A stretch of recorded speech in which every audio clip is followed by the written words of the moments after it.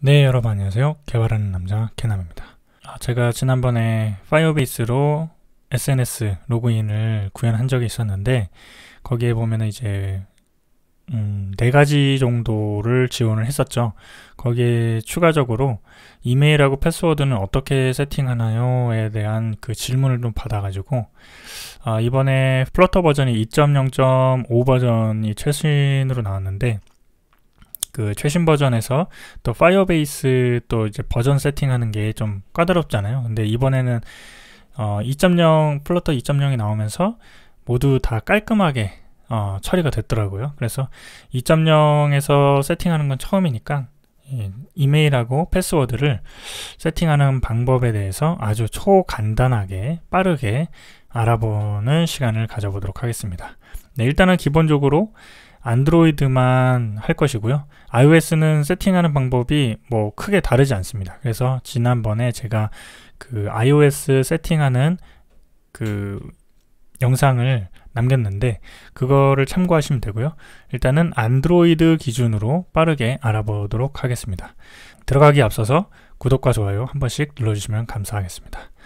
네, 이것은 이제 플러터로 파이어베이스를 연동하는 그 document 사이트예요. 아주 설명이 잘 되어 있고 지금 상단에 보시면 이제 null safety 버전이 가, 사용 가능하다고 돼 있죠. 예, 그러면서 모든 버전이 최신 버전으로 세팅이 됐어요. 네, 그래서 같이 최신 버전으로 세팅할 예정입니다. 이거를 한쪽으로 이렇게 띄워놓고 같이 진행을 할 거예요. 일단은 프로젝트를 만들어야 되겠죠. 프로젝트는 빠르게 만들고 오겠습니다. 자, 왼쪽에는 문서가 있고요. 오른쪽에 이제 세팅을 할 겁니다. 일단 프로젝트가 이렇게 만들어지면 이제 기본적으로 7.2.7 버전대가 세팅이 돼요. 이걸 12 버전으로 바꿔 주시고요. 그 다음에 저희는 어, 지난번에도 말씀드렸지만 lint linter를 기본적으로 세팅을 하고 갈 예정입니다. 그래서 linter 세팅, linter 세팅 파일을 넣어 주시고 이거 같은 경우에는 제그 깃허브 주소에 음, 관련된 프로젝트, 관련 프로젝트를 또 업로드를 해놨으니까요. 그 받으셔서 어, 별로 이, 이 영상을 따로 보이시지 않아도 그거를 참고해서 개발하시면 될 것 같고요.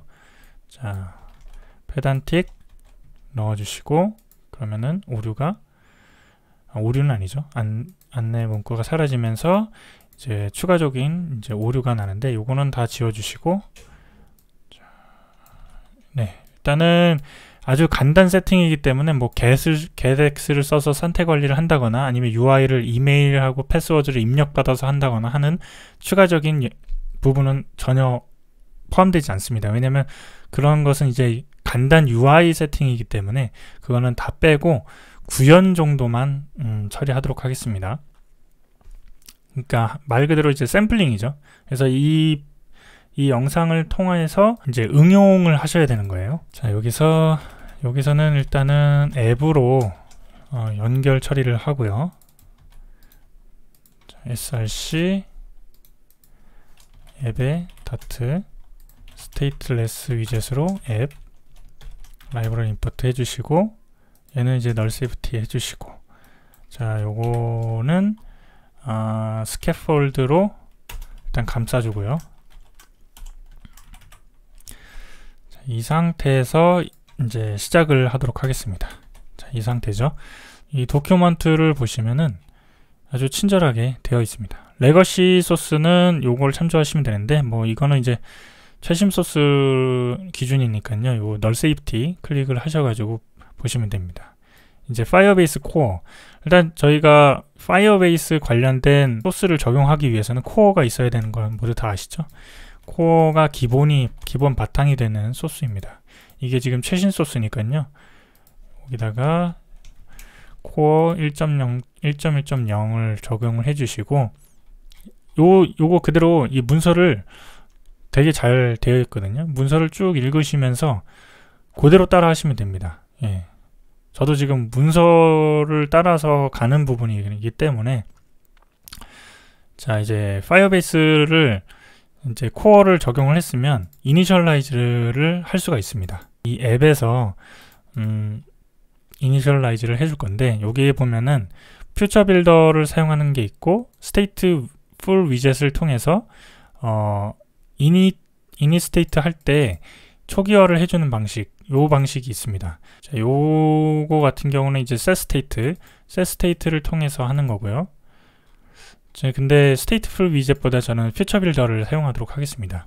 여기에 보면은 요 소스 그대로 복사를 해서 붙여도 되지만 저는 일단 미니 이미 앱을 만들어 놨기 때문에 이 const는 일단 빼주시고 여기를 요거를 넣어주시고 자, 라이브러리 import를 해주시고 자, Scaffold 안에다가 자, body를 넣을 건데요. body에다가 요 Future builder를 사용하도록 하겠습니다. Future builder를 이렇게 넣어주십니다. 넣어주시면 되고요. 아, 잠깐만요. 자, 이렇게 되죠. 넣어주시고 지금 보면은 세 가지가 있어요. 이 마지막 거는 로딩이라고 해서 말 그대로 로딩이죠. 그래서 로딩 처리를 위한 센터 circular 어, progress indicator를 사용하도록 하겠습니다. 이런 식으로요. 그 다음에 이 initialize가 정상적으로 처리됐을 때 어, 여기에는 홈으로 돌리도록 하겠습니다. 지금 아직 페이지는 없지만 그 다음에 이 로드가 실패됐을 때 로드가 실패됐을 때는 앱을 사용하지 못하게 해야 되기 때문에 어, 뭐 적절한 안내 문구를 띄우는 거죠. 일단은 저는 그냥 텍스트로 적절한 안내 문구를 사용하도록 하겠습니다. Firebase init 실패 이렇게 처리하고요. 이 홈페이지를 어, 추가적으로 이 pages에서 관리하도록 하겠습니다. 여기는 하고 홈.dot 파일을 해주시고 홈.dot 파일에 stateless 위젯으로 홈 넣어주시고 이렇게 해주시고 자, 일단은 이렇게 해서 라이브러리만 인풋을 하도록 하겠습니다. 자, 이렇게 되면은 앱을 돌리면 어, 이제 홈페이지로 이동이 될 겁니다. 자, 홈페이지에서는 일단은 정상적으로 처리가 됐는지 Scaffold로 아,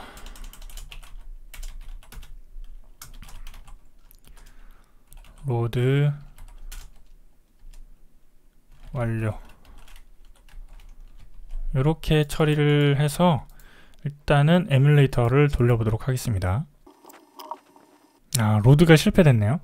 로드가 실패된 이유는 예, 안드로이드 installation을 하지 않아서 발생하는 문제고요. 요거를 해주시면 됩니다. 요거는 요것도 마찬가지로 설명이 잘 되어 있습니다. 이대로 쭉 따라서 가면 됩니다. 같이 한번 진행을 해보도록 하겠습니다. 자, 우선은 자, 요거 build 안드로이드 프로젝트에서 build gradle 파일을 열어가지고 요 구글 서비스 적용을 요 dependencies buildscript의 dependencies 아래에다가 추가를 해주시고요. 자, 그 다음에 앱, 앱 단위, 앱 단위 build gradle, 앱 단위의 build gradle 안에 들, 들어가셔서 이 플러그인, apply plugin이 들어가 있는 게 있어요. 그거를 여기 복사를 하셔가지고 여기다가 넣어주시면 됩니다. 자, 그리고 이 밑에 설명은 이런 오류가 발생할 수 있어요. 소스를 돌리면 이제 multidex 관련된 설정인데 이거는 기본적으로 그 target SDK 버전, 안드로이드 SDK 버전이 이제 16, 그러니까 즉 22 이하는 multidex를 설정을 해줘야 돼요. 그거를 볼, 보는 방법은 앱 단위의 build gradle 지금 열려 있죠. 여기 보시면은 min SDK라고 있어요. min SDK가 지금 16으로 되어 있죠. 이게 만약에 21이다. 이러면 multidex를 설정할 필요가 없어요. 기본적으로 장, 그 세팅이 되어 있기 때문에 그럼 16이다. 그러면 20보다 이하죠. 그러면은 요 설정을 해줘야 됩니다. 자, 이렇게 해주시고 이 dependencies는 이 밑에 어, 요거를 추가하게 되어 있어요. 요거를 추가하시면 세팅이 됩니다. 이렇게 됐고요. 그 다음에 지금 이 설정은 뭐냐면 이제 안드로이드나 이제 iOS는 기본적으로 그 통신 방식을 이제 암호화해서 통신을 해요. HTTPS를 그 사용해서 하는데 어 이제 개발 단계나 뭐 HTTP를 써야 되는 상황이 있을 수 있죠. 그런 경우에 요 설정을 해주지 않으면 그 이제 오류가 아니 그러니까 통신을 할 수가 없어요. 이게 이게 업데이트 되면서 생긴 건지 예전에 이거 설정한 적 기억이 없었는데 이게 새로 생긴 것 같아요. 그래서 요거를 설정을 해 주셔야 됩니다. 이렇게 이제 안드로이드 manifest 파일에다가 이 어플리케이션 쪽 어플리케이션 쪽에 옵션을 추가를 해 주셔야 됩니다. 지금 이렇게 세팅이 됐고요. 여기까지 됐죠. 그 다음에 이제 iOS 세팅인데 iOS 세팅은 그 제가 우측 상단에다가 세팅하는 영상 그 링크를 걸어 두겠습니다. 이것도 간단합니다. 뭐 복잡하지 않기 때문에 네 마지막으로 어, Firebase 그 콘솔 프로젝트를 만들어서 그 파일을 다운받아 줘야 되겠죠.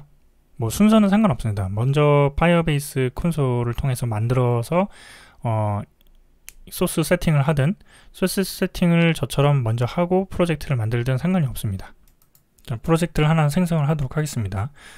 자, 프로젝트 이름은 그 프로젝트명하고 비슷하게 가져가면 될 것 같아요. 대신 이 언더바보다는 하이픈을 사용해서 Firebase 아 Firebase 아 이메일 sign up 샘플이죠. 이렇게 해서 continue continue 얘는 그냥 아무거나 해서 프로젝트 생성을 하도록 하겠습니다. 네, 완료됐고요. continue. 네, 그러면 이제 프로젝트 내에 왔고요. 여기에 보면은 iOS 세팅, 안드로이드 세팅 있습니다. 여기에서 안드로이드 세팅을 누르셔서 요걸 채워주시면 돼요. 앱 단위의 build Gradle을 열어, 열어보시면 여기 application ID가 있습니다. 요거가 package name이 되고요. 요거는 이제 옵션입니다. 넣어주셔도 되고 안 넣으셔도 됩니다. 저는 넣지 않겠습니다. 근데 넣어주시면 좋겠죠? 아 그냥 넣어주도록 하겠습니다. 요거 그냥 그냥 복사해서 요 SHA 요거 같은 경우에는 어, 사용을 해도 되고 사용해주지 않아도 상관이 없어요. 이것도 옵션인데 어, 중요한 거는 여기에 보면은 dynamic link나 Google sign in 그 다음에 phone number 등 사용하게 될 경우에는 요 인증 관련된 그 지문이 필요한 거죠. SHA-1에 대한 지문이 필요합니다. 근데 저희는 이메일 패스워드 세팅이기 때문에 요거는 설정할 필요가 없습니다. 그대로 넘어가 주시고요.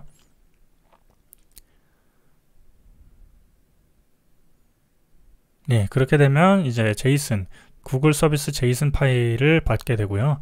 요거를 다운로드 받아 주시고요. 받은 파일을 앱 안에다가 넣어 주시면 됩니다. 앱 안에다 넣어 주시고 혹시나 이 여러 개의 파일을 받았을 경우에 이렇게 자동적으로 1이 이렇게 붙는데 이거 반드시 제거를 해 주셔야 돼요. 이렇게 해 주시고 next 그리고 요거 관련된 거는 여기에서 참조할 필요가 없습니다. 요거는 그대로 패스 아까 세팅을 해줬기 때문에 자, 이렇게 되면은 지금 안드로이드가 setup이 되어 있어요. 자, 그 다음에 지금 온 김에 authentication에 보면은 요걸 활성화 시켜 주도록 하겠습니다. get started. 그러면 어, SNS 로그인도 있지만 이메일 패스워드라고 있어요. 이거를 enable 해 주도록 하겠습니다. save. 네, 그럼 enable 됐고요. 자, 이제 유저스에서 정상적으로 회원 가입이 되는지 확인함, 확인하기만 하면 되는데요. 이 상태에서 다시 안드로이드 세팅에 와서 아까 그 기본적으로 다 세팅을 해줬기 때문에 바로 프로젝트를 돌려보도록 하겠습니다. 네, 그러면은 지금 자세히 보면 로드 완료라고 여기 끝에 붙었죠? 네, 이렇게 되면은 세팅은 다 된 상태입니다. 이제부터 로그인 쪽 어, 관련된 문서를 보면서 또 이제 그 흐름대로 맞춰서 진행하시면 됩니다. 자, 한번 볼까요? 자 여기 보면은 아, authentication 아, 쭉 읽어 보시면서 세팅을 하셔도 됩니다. legacy는 그 이전 소스고요. null safety 입은 최신 소스니까 요거 보시면서 따라가시면 되겠죠. 자 여기 보시면 이제는 인증 쪽 인증 쪽이기 때문에 Firebase Auth 버전이 필요합니다. 이게 최신 버전이에요. 1.0.3 여기 2.0.3이 최신 버전이죠. 예, 1.0.3 자, 이거를 퍼스펙 야물 파일에다가 코어 밑에다가 적용하도록 하겠습니다. 자, 그 다음에 요거까지는 자동으로 된 거고요. 자, 얘는 이제 웹이기 때문에 필요가 없죠. 자, 그 다음 다음 다음 넘겨주시면 어, 이제 다 읽어보시면 좋아요. 자, 이 지금 방식이 두 가지 방식이 있어요. 이렇게 해서 선언해서 사용하는 방식이 있고 이런 어, instanceFor라고 해서 음, 별도로 이, 이 앞에서 그 만들어준 앱 내에서 사용할 수 있도록 하는 방식이 있는 것 같아요. 저는 이것보다는 이거 좀 생소하고 이 버전을 좋아하기 때문에 요거를 사용할 것이고요. 지금 보면은 상태에 대해서 처리를 합니다. 여기 설명을 보시면 아시겠지만은 이 상태는 그 자동적으로 그 로그인을 유지를 시켜줘요. 그러니까 로그인이 완료됐으면 앱을 껐다 키든 아니면 뭐 캐시를 지우지 않는 한 이 상태를 쭉 가지고 있습니다. 로컬 쪽에서요. 그러기 때문에 자동 로그인도 요 지원이 된다는 얘기가 되어 있는 상태고요. 그게 아마 여기까지 이어, 내용이 이어질 겁니다. 자, 그래서 지금 일단 요거 같은 경우는 stream으로 되어 있습니다. 예, 상태는 이제 stream으로 되어 있기 때문에 StreamBuilder를 사용하면 충분히 구현이 되겠죠. 자, 그래서 이제 홈 쪽에서 홈 쪽에서 요 스트, StreamBuilder를 사용하도록 하겠습니다. 자, 여기에서 일단은 이 홈은 어떻게 보면은 껍데기예요. 그 사용자의 어, 로그인 상태 여부를 체크하는 껍데기 부분이라서 사실 이게 홈이 아니고 뭐 어떠한 어, 인증 프로세스 하는 어, 그런 페이지 위젯이라고 생각하시면 될 것 같아요. 자, 여기다가 이제 StreamBuilder 추가를 해주시고 자, StreamBuilder mouse over 하시면은 context하고 snapshot이라고 해서 dynamic이 들어오는데 일단은 저희 그 dynamic이라는 것은 이 stream이 뭘 반환할지 모르잖아요. 그렇기 때문에 dynamic인 겁니다. 자, 여기서 일단은 요거를 그대로 복사를 하셔가지고요. 여기다 넣어주신 다음 여기다가 context 여기다가 어, snapshot이라고 하겠습니다. 이렇게 해주시고 return은 일단 빈 컨테이너 반환을 해주고요. 자, 이 상태에서 이 stream을 등록을 해줘야 되겠죠. stream. stream은 아까 여기 화면에 예제에 나왔던 요 그것을 그대로 넣어 주셔도 됩니다. 그 다음에 여기다가 라이브러리 import를 해주시고요. 자 이렇게 되면은 아 지금 소스가 돌아가고 있는 중이라서 오류가 나는데 일단 끄도록 하겠습니다. 자 이 상태에서 지금 return 타입이 유저 타입이에요. 게다가 이제 optional이 되어 있죠. 그 말은 이 dynamic을 안 써도 이제 유저에서 이제 이렇게 받을 수 있다라는 것입니다. 자, 이것도 여기서 이렇게 어, 타입을 지정을 해주시는 게 좋아요. 자, 이렇게 되면은 이제 이 유저 타입을 온, 온다는 것이고 여기에 이제 유저라고 하도록 하겠습니다. 명확하게 하기 위해서 유저. 자, 그러면 이 유저의 아, 널인지 아닌지에 따라서 current sign out 됐고 sign in이 됐다. 그러니까 회, 로그인이 됐고 안 됐고를 분기 처리를 할 수가 있어요. 요거 그대로 복사를 하셔가지고 요 밑에다가 넣어 주시는데 어, 중요한 거는 이제 이 유저 지금 이게 좀 잘못된 것 같아요 소스가. 여기에 사실 여기는 유저의 데이터까지 들어와야 됩니다. 예, 데이터까지 해서 null 체크를 하셔도 되고 또 하나의 방법은 여기서 유저의 has 데이터라고 있어요. has 데이터가 데이터가 있냐 없냐 has 데이터가 있냐 없냐 처리로 처리할 수가 있습니다. 이걸로 처리하도록 하겠습니다. 굳이 또 null을 여기서 화면에다 쓸 필요가 없겠죠. 자, 이 상태에서 아, return has 데이터 데이터가 있다라는 것은 회원이 로그인이 된 상태라는 뜻입니다. 그래서 여기서는 아, 그 마이 페이지로 돌리도록 하겠습니다. 마이 페이지로 돌리고 아닐 경우에는 아, 저기 sign in 회원가입 페이지로 돌려보도록 하겠습니다. 아, 로그인 페이지죠. 그 다음에 이게 else이기 때문에 이제 더 이상 이 밑에서는 이게 필요가 없는 거예요. 그래서 이거 제거해 주시고 이 페이지에다가 추가적으로 두 가지 페이지를 추가하겠습니다. 마이 페이지 그 다음에 또 하나는 sign in 페이지 그래서 stateless로 sign in 페이지 만들어 주시고 그 다음에 마이 페이지도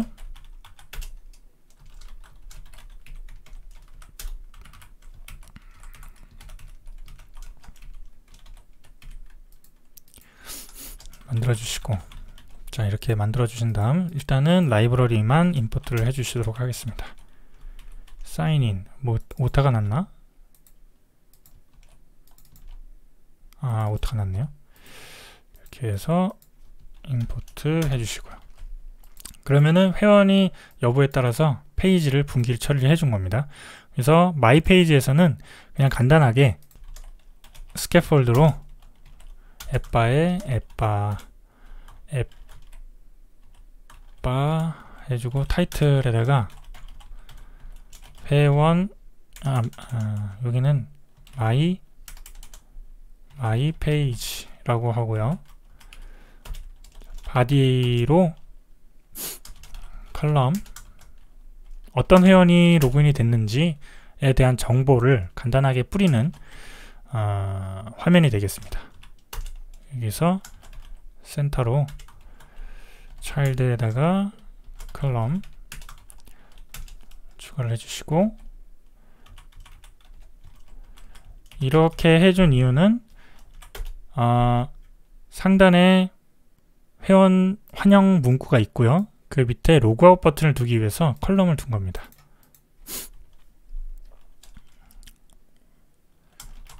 텍스트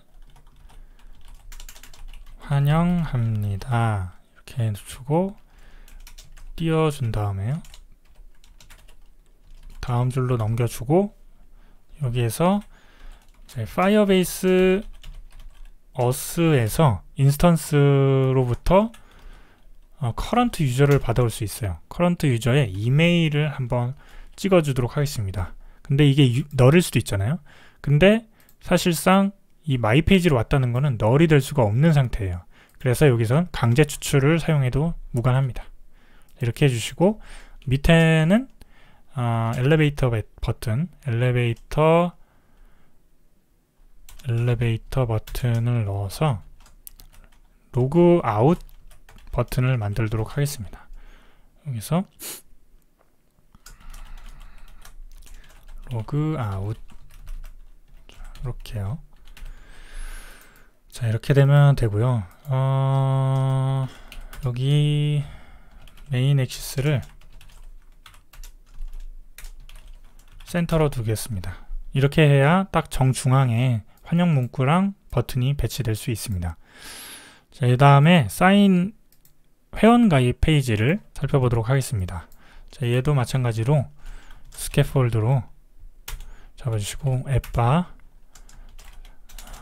앱바 타이틀 텍스트 회원 가입 아 회원 가입이 아니죠 회원 로그인 이렇게 하도록 하겠습니다. 이렇게 해서 body body에는 두 가지 버튼을 둘 거예요. 하나는 회원 가입 버튼 그 다음에 또 하나는 로그인 버튼. 이렇게 처리하도록 하겠습니다. child로. 여기에는 아, elevation elevation 버튼을 둬서요. 텍스트로 회원 가입 버튼이 하나가 있고 근데 얘가 지금 column으로 나눠졌기 때문에 두 개의 영역을 나누기 위해서 명어, 어, extension을 사용하도록 하겠습니다. 아, expand, expand, expanded 사용하고요. 그 다음에 이게 센터 정렬 처리하도록 하겠습니다.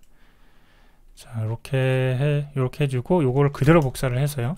밑에는 로그인 처리를 하도록 하겠습니다. 그 다음에 콤마 콤마 해서 자동으로 정렬 이쁘게 될 수 있도록 해주고요. 자, 그러면 이제 각 이벤트만 처리를 해주면 됩니다. 자, 이벤트 처리하기 위해서 여기는 sign up, sign up 있을 거고요. 밑엔 sign in이 있, 겠죠 sign in.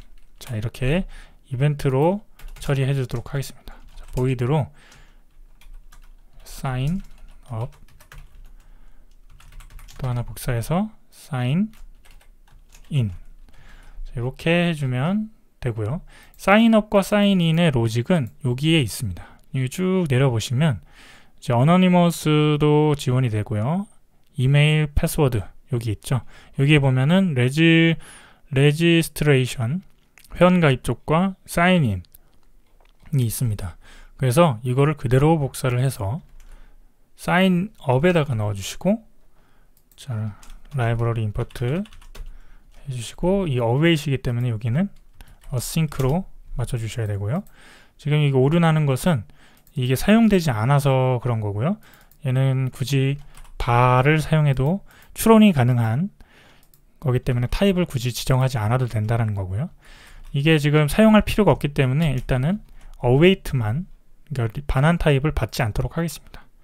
자, 그 다음에 sign인, sign인도 밑에 보시면 이거 그대로 복사를 해서 붙여주시고 자, 여기도 마찬가지로 지워주시고 여기다가 async 자 이렇게 되면 지금 이런 이메일과 패스워드로 저장이 되는 것입니다. 자, 이 상태에서 자, 여기다 둔 다음 이제 소스를 돌려보도록 하겠습니다. 자, 이렇게 되면은 당연히 당연하겠지만 이 앱단에서 일단은 이니셜 성공해서 홈으로 갔을 것이고요. 이 홈에서는 어, user has data가 없기 때문에 그 sign in으로 이동이 됐을 것입니다. 자 그래서 지금 회원가입과 로그인 버튼이 화면에 보여지는 것이고요. 로그인 버튼을 한다 해도 로그인이 성공되지 않을 거예요. 여기에서 보면은 no user found for that email이라는 에러 로그가 콘솔에 찍힐 겁니다. 네, 이렇게 되면서 오류가 나면서 자, no user found for that email 이라고 뜨죠. 자, 회원이 없기 때문이죠. 자, 그 다음에 회원 가입을 누르게 되면 지금 이 이메일과 패스워드로 회원 가입이 진행이 됩니다. 그럼과 동시에 어, 상태 관리가 자동으로 들어가기 때문에 아마 my 페이지로 자동으로 변경될 수 있, 변경되게 될 것입니다. 한번 눌러보도록 하겠습니다. 자 이렇게 되면 환영합니다. 어, 이렇게 어, 회원 가입이 된 것을 확인할 수 있고요. 여기 authentication 페이지에서도 새로 고침을 하시게 되면 이렇게 데이터가 들어와 있는 것을 볼 수가 있습니다. 자, 이 상태에서 자, 로그아웃을 누르게 되면 상태가 빠지기 때문에 어, 로그아웃을 눌렀는데? 아 로그아웃 이벤트를 걸지 않았네요.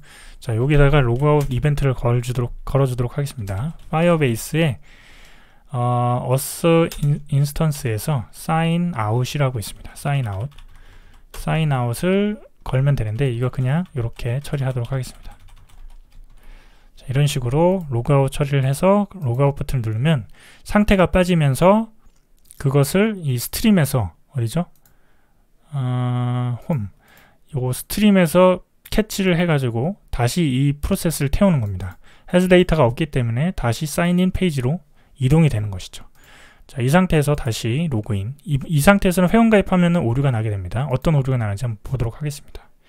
자, 이렇게 쭉, 쭉 하게 되면 The account already exists for that email. 이메일로 가입된 user가 있다라는 것을 또 확인할 수 있고요. 자 이제 user 로그인을 버튼을 누르게 되면 자 아까와 다르게 로그인이 정상적으로 처리되는 것을 볼 수가 있습니다. 자 마지막으로 앱을 껐다가 켰을 때 환영합니다. 이 페이지가 my 페이지로 들어와지는지 체크하도록 하겠습니다. 네 이렇게 되면 자동적으로 데이터가 있기 때문에 환영합니다. 어, 인그 my 페이지로 접근이 되는 것을 볼 수 있습니다. 이것이 바로 자동 로그인이죠. 예. 자 이렇게 해서 안드로이드로 어, 최신 버전 파, Flutter 파, 아, Flutter의 최신 버전과 파이어베이스의 최신 버전으로 세팅한 아, 회원 가입 그리고 로그인 프로세스를 어, UI 없이 그런 입력 폼이라든지 이런 거 다 빼고 간단하게 살펴보는 어, 시간을 가졌습니다. 이걸 세팅을 하면서 제가 또 느낀 것은 이제 Firebase 같은 경우에는 versioning 그 맞춰주는 게 좀 복잡했어요. 어떤 거는 맞, 맞을 수도 있고 안 맞을 수도 있고 뭐 이런 게 있어가지고 좀 버전 찾기가 좀 힘들었었는데 이제는 그 Flutter 2.0이 나오면서 최신 버전이 되다 보니까 모든 어, 파이어베이스의 그 라이브러리들이 최신 버전으로 지원되면서 버전 을 따로 찾을 필요 없이 그냥 무조건 최신 버전을 사용하면 다 세팅이 되는 것을 어, 확인했습니다. 아, 이게 뭐 좋은 일일 수도 있고 기존의 라, 어, 프로젝트를 진행하고 계시는 분들은 어, 추가적인 그 업그레이드를 하는 아, 시간이 조금 더 소요가 되겠지, 되겠지만 이제 막 시작하시는 분들에게는 어, 좀 좋은 소식이 아닌가 싶습니다. 아무튼 이 영상이 좀 도움이 되셨다 하시는 분들은 좋아요 버튼 한 번씩 눌러주시고 다음 영상도 기대되시는 분 같이 그 공부하기를 희망하시는 분들은 구독하기 버튼 한 번씩 눌러주시면 감사하겠습니다. 네, 감사합니다.